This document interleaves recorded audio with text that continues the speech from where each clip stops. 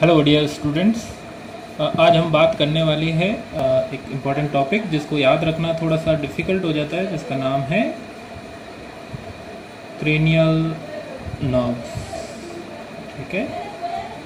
तो cranial nerves जो है, उनको याद रखना इसलिए भी ज़रूरी है क्योंकि उसमें से सीधे सीधे सवाल पूछे जाते हैं।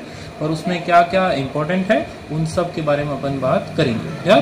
तो first of all we know कि ह्यूमंस के अंदर कितने पेयर है? ट्वेल्व पेयर्स ठीक है? अब तो इसमें से ट्वेल्व पेयर में कौन कौन से है? First neuron second third fourth fifth six seven eighth tenth और ट्वेल्थ ठीक है? चल, अब इनके नाम क्या क्या है? वो। जी तो ये जो बारह क्रेनियल नर्व है, इन बारह के पहली चीज़ तो हमको नाम याद रखना ज़रूरी है। तो फ़र्स्ट क्रेनियल नर्व है that is olfactory cranial nerves okay first one is olfactory. Next optic nerve. Then third one is oculomotor nerve. Then then comes trochlear nerve.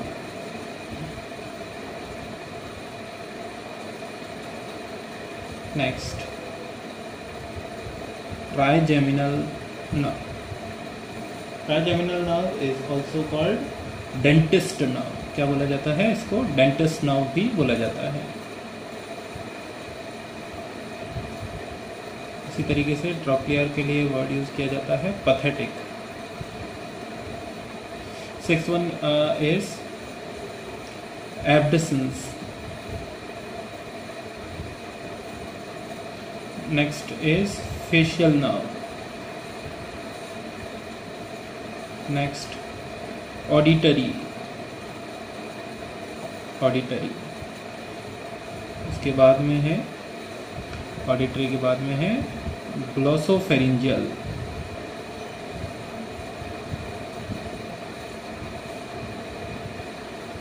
next vagus nerve vagus nerve के बारे में एक important बात. It is the longest nerve longest cranial nerve ठीक है जिसको और क्या बोला जाता है? न्यूमोगेस्ट्रिक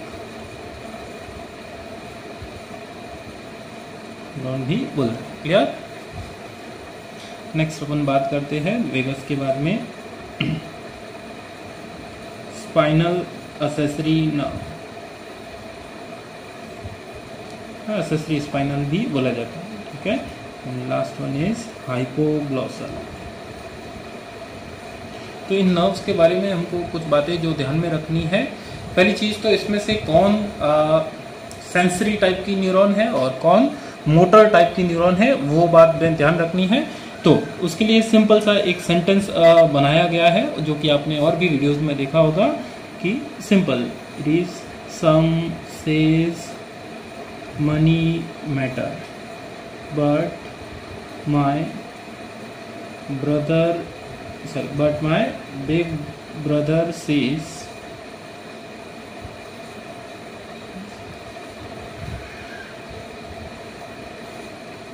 big book matter more simple सा सेंटेंस बनाया हुआ है कि इनको याद रखना है।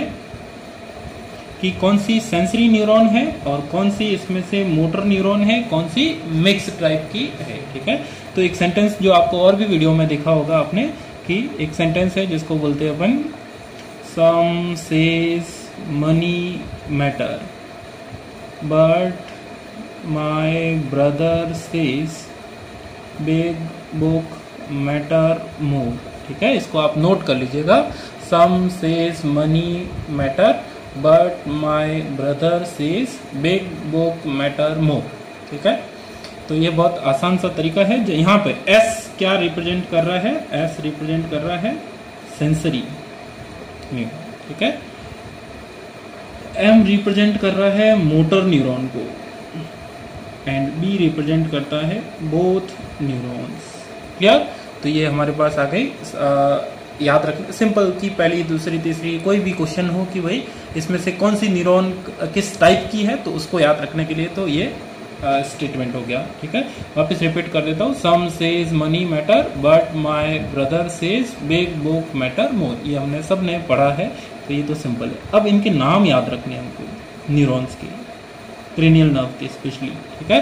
तो उसके लिए हमको, जैसे ऑल फैक्ट्री फिर ऑप्टिक और किलोमीटर अब इनको, पहली चीज़ तो अपने को इनके नाम तो एटलीस्ट पता होने चाहिए कि भाई अच्छा ऑल फैक्ट्री एक क्रेनियल नर्व है या फिर ट्रोक्लियर एक क्रेनियल नर्व है, वो तो है। अपन जो ट्रैक बता रहे हैं, उससे हमको ये हिंट मिलेगा कि क्या नाम होगा अगली न्यूरॉन का या उस पर्टिकुलर न्यूरॉन का क्या नाम होगा, ठीक है? चलिए। कहने का मतलब अगर आपको फ्रूट्स के नाम तो पता है, लेकिन उनको एक ऑर्डर में याद रखना है, ठीक है? तो उसके लिए एक सेंटेंस बनाया हुआ है, सिंपल सा, ठीक है? तो देखिएगा, इसमें सबसे पहला एक वर्ड लिख रहा हूँ मैं, ऑयली। आपकी आँखें। क्या याद रखना है? ऑयली आपकी आँखें। ठीक है? आगे आपको याद रखना है, तौर तरीके।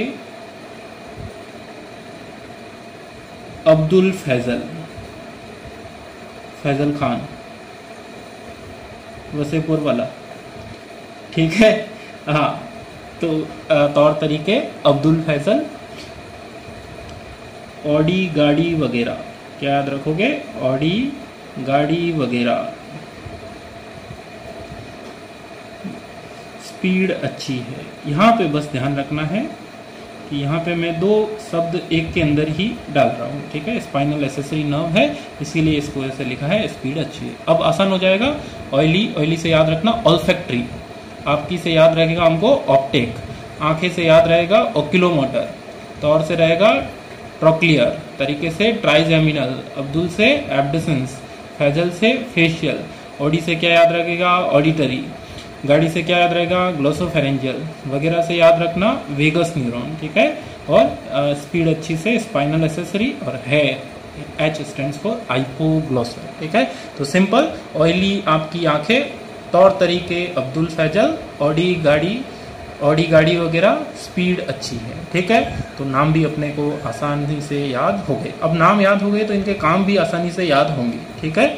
ऑलफैक्ट्री हमको मालूम है, हमेशा स्मेल से रिलेटेड वर्ड आता है, ठीक है? ऑलफैक्ट्री एपिथीलियम अपन ने सुना है ऑलफैक्ट्री लोब सुना है, न्यूरॉन के अंदर, सॉरी, ब्रेन के अंदर। ऑप्टिक वर्ड हमेशा किसके लिए? विजन के लिए। ऑक्यूलोमोटर और ट्रोक्लियर याद रखना, ये दोनों आई बॉल के मूवमेंट के लिए। इनफैक्ट एबडेसेंस जो है, ये भी for the movement of eyeball trigeminal को क्या बोल रहे हैं अपन? डेंटिस्ट नर्व क्योंकि डेंटिस्ट है इसको डिसेंसिटाइज करता है आ, किसी भी टूथ को पिक करने से पहले उसको वहाँ से हटाने से पहले ठीक है? Facial nerve is related to facial movement as well as for saliva secretion auditory neuron is related to hearing अपन ने पढ़ा है ऑडिट ऑडियो ऑडियो वीडियो अपन बोलते हैं तो हियरिंग से रिलेटेड ये बात होती। है glossopharyngeal is again for the movement of tongue as well as saliva secretion and taste ठीक है? Vagus neuron is most important neuron because it is longest neuron ये बॉडी की जो इम्पोर्टेंट इंटरनल ऑर्गन है विसरल ऑर्गन वहाँ पे enter करती है। वेगस न्यूरॉन कहाँ कहाँ जाती है? हार्ट में जाती है लंग्स में जाती है लेरिंग्स में जा रही है। न्यूमोगेस्ट्रिक बोल रहे हैं तो गेस्ट्रो मतलब स्टोमक और इंटेस्टाइन में भी जा रही है और लंग्स अपन ने बात कर ही ली है। स्पाइनल एसेसरी न्यूरॉन जो है, वो spinal accessory neuron is related to pharynx and larynx muscles, and again, hypoglossal is related to hypoglossal. Glossal word आया है, यहाँ पे भी ग्लोसोफेरेंजियल जहाँ पे आया था, वो टंग और टेस्ट से रिलेटेड था, ये भी टंग मूवमेंट से रिलेटेड है क्लियर तो ये इनके काम भी आसान हो जाते अब इनसे रिलेटेड कुछ और छोटे छोटे से ट्रिक्स है, जैसे अपने को, एक तो अपने को याद रखना ही रखना है कि जो दसवा न्यूरॉन है vagus that is longest neuron याद रखेंगे लॉन्गेस्ट न्यूरॉन फिर अपने को एक मैथ मैथमेटिकली मैं बता रहा हूँ, ध्यान रखना। एक, याद रखना फोर फाइव सिक्स तीनों को याद रख लेना फोर फाइव सिक्स लगातार सीरीज़ में याद हो जाएगा। ये फोर फाइव सिक्स क्या है? इसके आगे एक वर्ड बता रहा हूँ। टी एल एस ठीक है? इसको याद रखना, तुम लोग सो। क्या याद रखोगे? तुम लोग सो। तो T stand for thinnest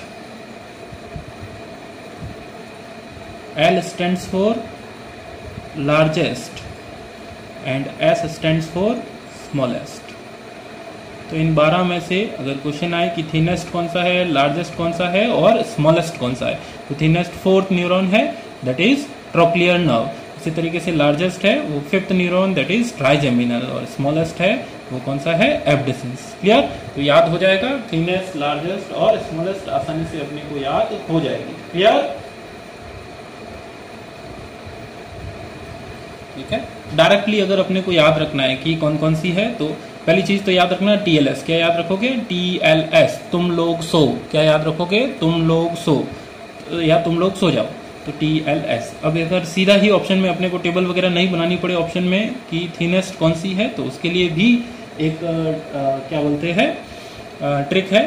याद रखना trophy try ABD de Villiers well known cricketer है दुनिया का लेकिन आईपीएल नहीं मिला उसको। आरसीबी की मनुष्यत। ठीक है तो ट्रॉफी के लिए ट्राई करो एवीडी आसान है?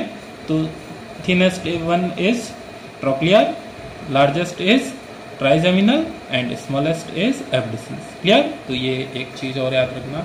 एक और है कि इनमें से A N S autonomous nervous system का पार्ट कौन कौन बनेगा? ठीक है? तो उसके लिए याद रखना। तीन, दस, सात, नौ। Okay part of autonomous nervous system ANS ठीक है? तो इसके लिए भी अपन सीधा सा ट्रिक बना सकते हैं। तीनों दोस्त साथ नहीं, क्या लिखेंगे? तीनों दोस्त साथ नहीं, ठीक है?